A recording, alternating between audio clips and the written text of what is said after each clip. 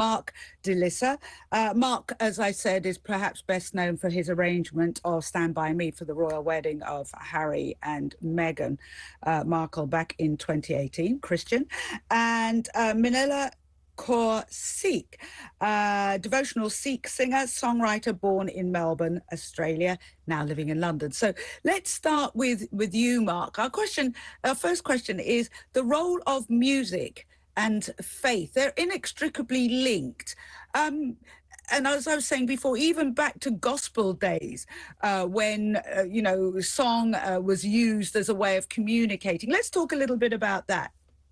Yeah, well, music music is one of those things that we were born with, right? We came out of the womb and we didn't speak. We didn't say, "My goodness, it's chilly out here" on, on our first breath. We came out and we cried, and that is the basis of singing. And so it's inherently within us. Uh, and as we grow, we kind of use different instruments and we get collected with other people and we sing together in choirs and stuff like that. This is why music is so incredibly important. What I call a, it's a heightened form of expression. Our voices can create music; they can also articulate word, but this heightened form of expression, which is music, is so fundamentally important within our, our, our faith, whatever that faith might be, because we can then say stuff. We used to talk about this when I was growing up, that it's even in your groanings that you can you can be heard. You know, you can tell a message through an, an ow or a ooh or a e, whatever it might be, you can express yourself without lyric. And so when those two things come together, be it lyric and melody, it's incredibly powerful and therefore superb, a superb way of expressing yourself and expressing your faith. So, do you think singing a prayer is more powerful than just saying it? Yes, I do. Because it's stimulating all of the senses. Yes, we are hearing the lyric and we're hearing the, the, the, content and the text of the prayer. But actually, when you put in a melody, the melody stirs you in a different way. You know, people always talk about mm. uh, listening to music which is which has word and lyric, and then also listening to instrumental music and which one stirs you more. And people will always say that actually the coming together, well, a lot of people that I speak to, the coming together of music and lyric is the thing that stirs you the most. Uh, and so, yes, a, a sung prayer is absolutely so much more powerful for me. Uh, let's come to you, uh, Manika. Uh, with tell us about what you do with with singing and and you know prayer. Yes, so I am a kirtan singer, and kirtan is Sikh devotional music. So I take passages from the Sikh holy scriptures and I compose music to it and I release albums, and then all the proceeds from my music is donated to educating girls in India. Um, the beautiful thing about Sikh music is that when Guru Nanak came out with this concept of Sikhism in the 15th century, um, there were very there were caste systems and heavy discrimination towards women. People with certain names weren't allowed to worship God or weren't allowed into temples. But Guru Nanak with Sikhism wanted to equalize this problem. And so he would have these kirtans where people would join together to sing, and everyone would be sat at the same level, whether you were a king or a pauper, female or untouchable. This practice established a new tradition and promoted unity instead of separation. So through this, Guru Nanak was created a new tradition of equalizing um, all groups of people, regardless of your background or your, your sex. Um, so there's great importance in this world of Sikhism um, where music is seen as a means to communion with God. And the reason why is because music can pull us out of our analytical mind and into our hearts. Ah, yes, and I, I, think that's Mark. That's pretty much what you were saying as well. It does you, you, singing, and even would you say even the way you breathe when you you sing um, is is you know I'm I'm thinking of almost a meditation. You know, you're using your breath in a very different way from when you're speaking. Uh, you know, a prayer or devotion, Mark. Absolutely, and I think that um, people people get caught up in breath and start to kind of make it a little bit more scientific than they need to. I mean, it is obviously a science and something that we study, but it's important to to understand that it's the intention behind the breath, it's the intention behind the lyric that is the most powerful thing. Now, if we are singing something that we truly fully believe, or we want to express to an audience or, or, or whoever might be in front of us That is the most important thing. Once we are true to that intention, then your breathing does exactly what it needs to do to convey that message. And so, yes, you're right. Breathing is absolutely important. It is totally different when we're singing to when we are speaking. Uh, but ultimately, it is purely down, for me, down to the intention. If your intention is true, then your your expression and that that delivery of whatever it is you want to say is absolutely spot on and straight to the heart of the people that are listening.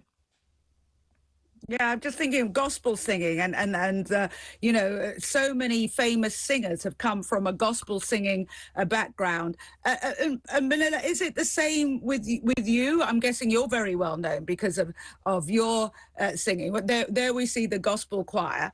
Um, and and you know it, it does. It moves people in a way that uh, if dare i say it a very dry sermon might not.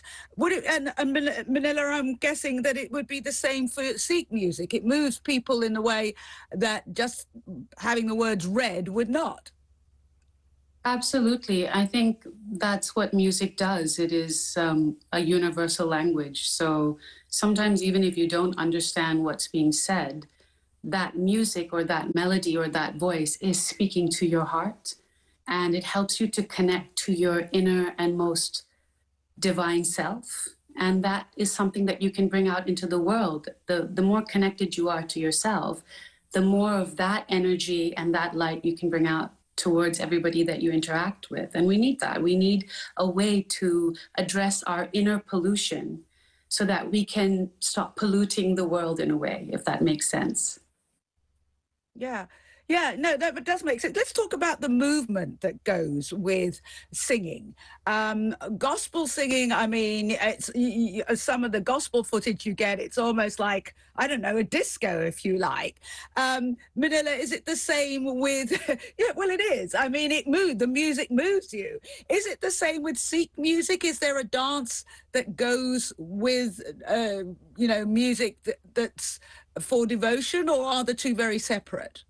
No, it, it is very separate. Um, with Sikh music, it's not so much about your body moving. Naturally, your body will move, your head may sway, but it's more about the dance of the soul with the divine. So it's very much taking that breath and bringing yourself outside of your five senses and into the heart and into the body.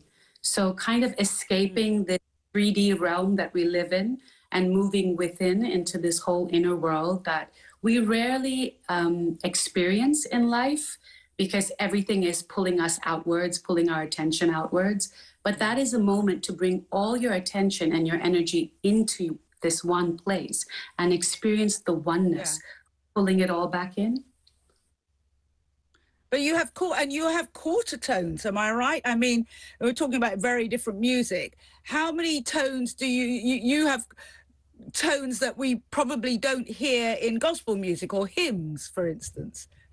Well, that's Indian classical music, and in, in, that world of music, they kind of you can sing kind of it's they call it singing up the stairs and down the stairs. I actually personally have no training. Um, when I was growing up in Melbourne, there were there was very little access to kirtan music or kirtan teachers.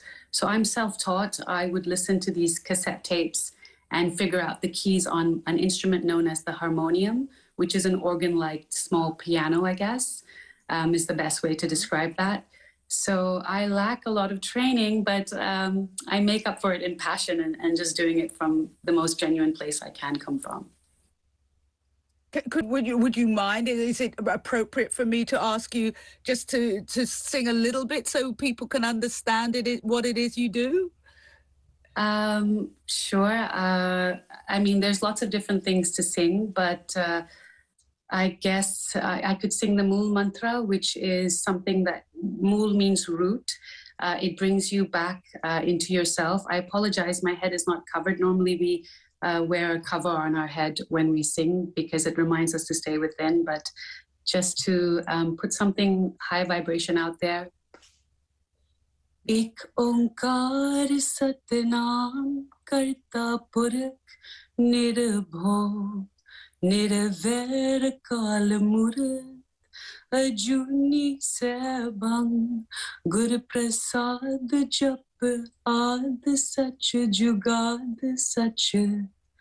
है भी सच, नानक होसी भी सच। So that's a mantra, and we sing it and repeat it over and over again. Um, and when we do so, we try to do it 108 times, which is the prayer beats that we do are 108 times. So we just keep singing it until you no longer need to recite the mantra, you become the mantra. It's as though your cells are singing it and it's moving through you wow. as from you. Wow, wow, Mark. uh, I put Mark on the spot, haven't I? Mark, you can see that the, the, the, the, you know, I felt that. And as you said before, you don't have to understand the words. Uh, let, us come to you with Mark, with, with the gospel singing. Maybe you can, can you show us how you would use movement and voice to, to praise yeah, I mean, there's there's so many ways that you can do that, you know. And I wish I had my, my piano in front of me because I could absolutely show you. But um, there's so many ways, and I think I think what Terminica has done there is she's she's just highlighted a, a really important thing that the music should be should be part of you and I think that's really important. So one of my favorite songs uh, is Amazing Grace, which everybody, I'm sure, most people watching today will probably know. But it's such a beautiful song, and it it, it, it, it comes back to what I said originally. If your if your belief and your intention is to convey the the message of that song, in other words, let it live with you first and let it be your story, then it absolutely absolutely moves people.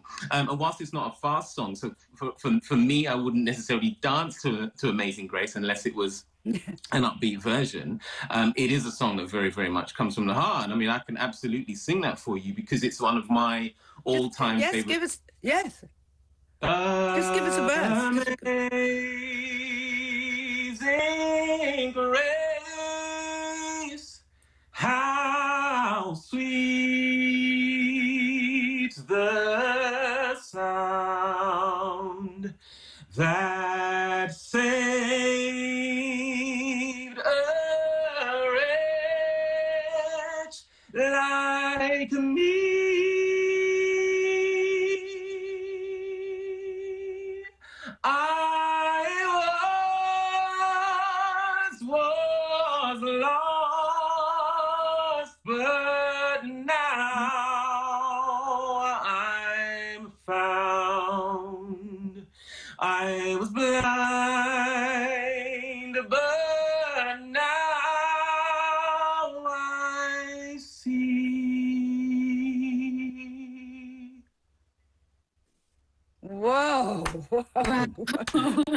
wow, wow, wow. so oh. I, I, I, really, you know, we started off this discussion with the power of music and faith. Uh, I should have just got you two both to sing and it would be argument over because whether you believe or what you believe, you do feel it viscerally, don't you? And I think, you know, we were coming back to, to uh, the Queen's funeral uh, as well um, and, and the hymns there. And I guess there'll be people from 500, you know, 500 heads of state. So people will be listening and uh, to languages that they might not understand. But I think, again, as both of you have illustrated with the organ, even the surroundings, I guess, even the surroundings, the, the, the pomp, the circumstance, the surroundings, you, you feel it, don't you, rather than then just hear it. If you're you're open to that whatever your your faith is. Um, now uh, just before the news i was talking about the fact that prince charles has been very very open about seeing his role as uh, the making or creating a space where faiths can flourish where you know and bringing together all the heads of various faiths that's one of the first things that he's done in his role uh, of king. He sees himself he sees britain as a community of communities and he wants to protect the space for faith itself.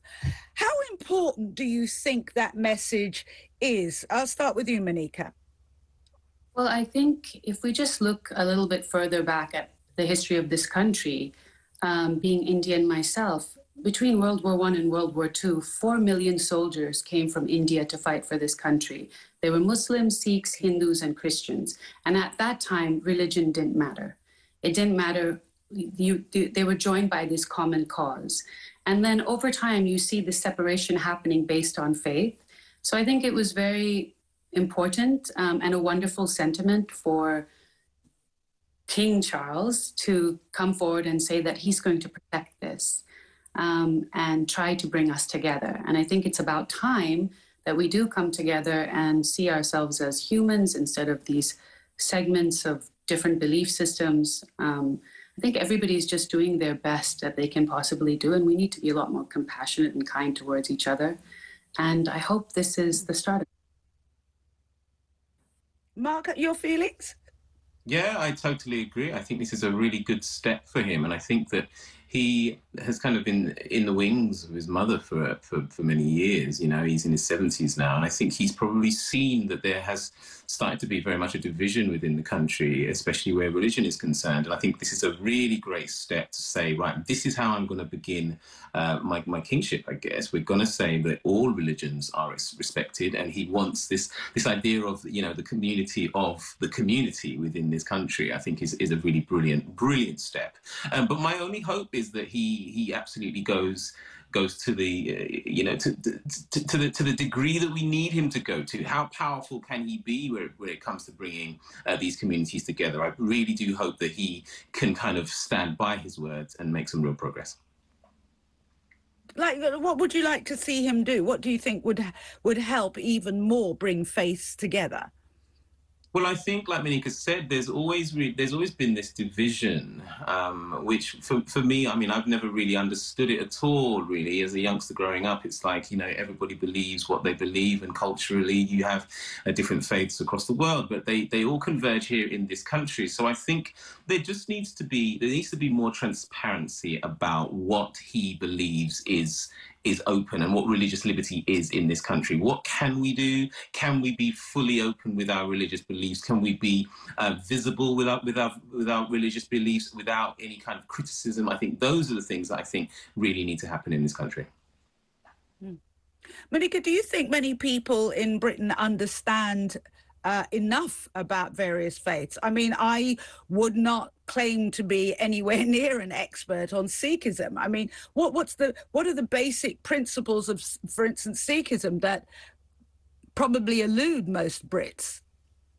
Um, actually, Sikhism is not a religion. I know it's classified as one, but it's actually a way of life to connecting to your divine self with three basic principles sit and meditate every day because that makes you aware of your ego and the pollution you put out into the world. Donate 10% um, of what you earn towards uplifting humanity, to, towards uplifting your communities, um, and uh, uh, live truthfully. So, um, whatever means in which you earn money and whatever deeds that you do, do it truthfully without cheating others. And that keeps you connected to your divine self because you are walking the path of truth. It's actually very simple faith. Um, there's reasons why Sikhs don't cut their hair, why you see Sikh men with turbans and beards, and even some women. And that was because uh, during India, during that time, there were religious wars where people were being um, killed because of their faith. And um, in order for the Sikhs not to hide, Guru Gobind Singh Ji uh, asked all the Sikhs to wear turbans, the Sikh men to wear a turban. And he said, that if anyone is ever in trouble, they will see the turban and they will know that if I approach that man or woman, they will help me because their guru commands it. And if you don't help someone who needs help and you turn your back on them, you are not my Sikh. And that is the reason why we have the image that we have, because we are this the turban is a, a symbol of safety, of harbor from danger. And to approach a Sikh and ask for help, it is their duty to help you as per um, the Sikh faith.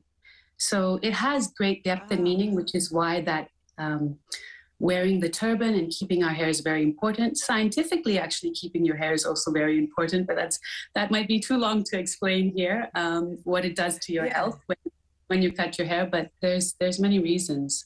I think what really needs to because happen. I, I, Well, I was going Sorry. to say, sorry, I was going to say one of the reasons that I asked you is because uh, definitely in the United States, where I'd say there's even greater ignorance when it comes to various faiths. There's, I think England or Britain is so squished in together, we tend to live closer to people from different faiths and different backgrounds.